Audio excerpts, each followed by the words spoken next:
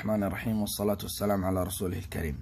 مادة تكييف الهواء المركزي صفحة 52 مثال رقم واحد. يقول أحسب هبوط الضغط. من يوم ما نشوف أحسب هبوط الضغط على طول بنكتب هذا القانون قدامنا لأننا إحنا بنستخرج منه أشياء اللي هو delta P. بعدين عندنا 0.6 هذا رقم ثابت مضروب في ال C اللي حنجيبه مضروب في ال V يعني أس 2 اللي هي السرعة. طيب.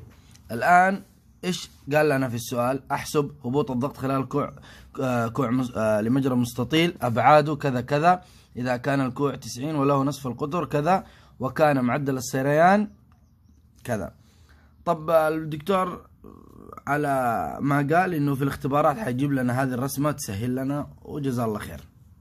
طيب عندنا ال ال H خلاص هذه طول المجرى H وعرضه حيكون W ونصف القطر حق الكوع حيكون ال R طيب إحنا حنستخدم جدول جديد في صفحة آه خمسة وأربعين. خمسة وأربعين اللي هو هذا. شوف كوع مثني تسعين بدون ريش توجيه في مجرى مستطيل. وجايب لك نفس آه نفس الرسمة اللي هناك. طيب عندنا الآن نتعرف على الجدول. يقول لك ال R قسمة ال W بيعطينا رقم وال H قسمة ال W بيعطينا رقم ومن خلال الرقمين هذه حنطلع ال C فنيجي نكتب آه وأنا قد كتبتها. ال H أعطانا هو كم؟ اللي كان هنا أعطانا هو 300 وال W أعطانا هو 200 وال R أعطانا هو 400 زي كذا. تيجي تكتبها. الآن إيش يقول لك؟ الآر قسمة الدبليو الآر 400 أقسمها على 200 ال W. كم أعطانا؟ أعطانا 2 طيب بعدين عندنا الاتش قسمة دبليو الاتش 200 قسمة آه عفوا ال H 300 قسمة W 200 كم أعطانا؟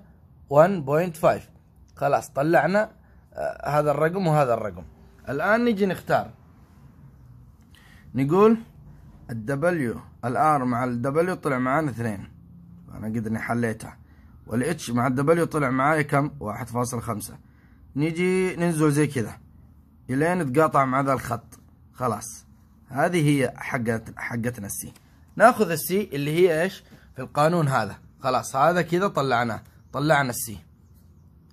طيب وهذا معانا ثابت ممتاز. باقي السرعة. هذه مجهولة. قانون السرعة يقول لك ال V على عفوا ال V يساوي Q قسمة هذه المساحة وهذا اللي هو أعطانا هو معدل السريان. يساوي كم؟ طيب معدل السريان أعطانا هو. قال معدل السريان هواء خلال الكوع متر مكعب على الثانية. فنكتبه المساحة الآن إيش عندنا المساحة في المجرى؟ هذه المساحات الاتش والدبليو طبعا هذه هي مليمتر حنخليها متر نقسمها على كم؟ على ألف. حيطلع معنا كم؟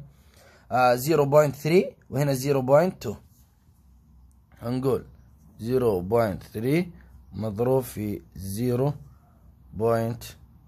0.2 يساوي كم؟